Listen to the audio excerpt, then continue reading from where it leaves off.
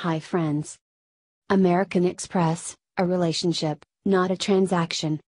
This case is about global business. Jim Bush, Executive Vice President of American Express, Amex, World Service, was confronted with a challenge in the mid 2000s. After working for Amex for 24 years, he began to worry that the company was focusing too much on cost reduction, Customer service was eroding as the company strove to stay competitive during hard economic times. In response, he led the organization in a large scale reinvention of its customer service strategy with an initiative called Relationship Care. By empowering employees with technology and information, Amex greatly improved its customer service and profits.